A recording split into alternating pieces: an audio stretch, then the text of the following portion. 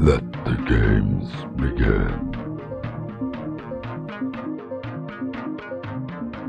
Um, excuse me, what?